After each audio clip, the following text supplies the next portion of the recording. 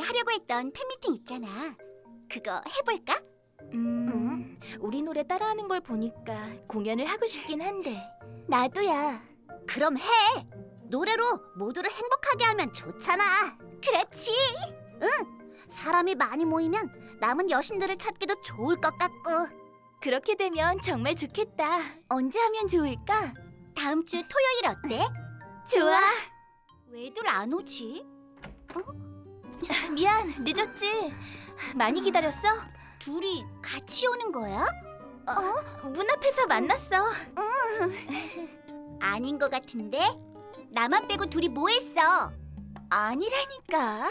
주주, 춤 연습한다며. 난 춤은 자신 없는데. 걱정 마. 우리에겐 헬렌이 있잖아. 별의 여신 헬렌, 시크릿 크리스탈.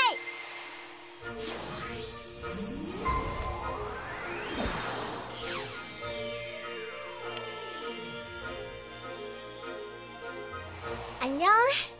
어, 여긴 웬일이야? 헬렌, 우리 춤 연습하는 것 좀 봐줄래? 춤? 좋아. 난 최고의 선생님이기도 하니까. 이제부턴 선생님이라고 불러야겠네. 기초부터 연습해 볼까?